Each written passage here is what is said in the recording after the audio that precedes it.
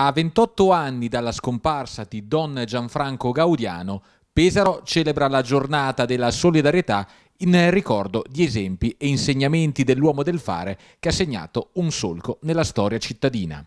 La Santa Messa in cattedrale prevista alle 18.30 di domenica 10 ottobre, data della scomparsa di Don Gaudiano, sarà preceduta sabato 9 alle 15.30 al Cinema Loreto dall'incontro per educare passione, fiducia, speranza organizzato da Fondazione Don Gaudiano, Comune di Pesaro e CEIS. Il tema scelto quest'anno è l'educazione, l'educazione dei ragazzi e dei giovani. È stata chiamata la dottoressa Mariolina Ceriotti Migliarese, una neuropsichiatra e psicoterapeuta, per sviluppare il tema.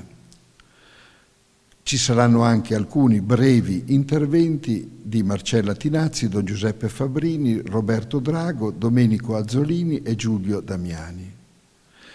La partecipazione è prevista per circa 150 persone. Le iscrizioni vanno fatte presso la Fondazione Don Gaudiano.